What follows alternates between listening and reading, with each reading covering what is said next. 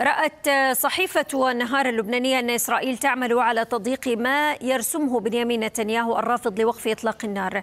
فبعد الضربات المتتالية لقيادة حزب الله وسعت حربها جنوب لبنان لتعمل على إبعاد وحدات اليونيفيل من مراكزها.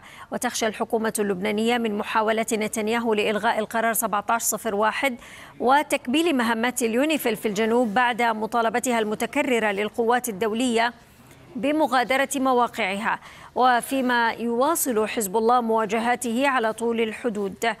تسعى إسرائيل إلى تحويل الجنوب إلى أرض محروقة ومنع النازحين من العودة إلى ديارهم.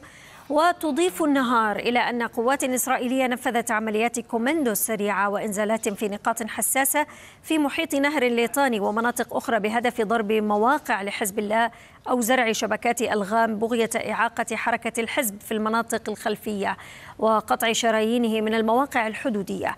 وترى الصحيفة أن نجاح العمليات الإسرائيلية وفرض القبضة الجوية على كل الجنوب ولبنان وتفكيك أوصال الحزب جنوبا يكون نتنياهو حقق الجزء الأكبر من خطة بنك أهداف إسرائيل ولو بعد أشهر من القتال. ووفق هذا السيناريو الذي قد تعمد إسرائيل إلى اتباعه تسعى إلى فرض شروطها على لبنان وقد تطالب بطرد الحزب عسكريا من كل الجنوب.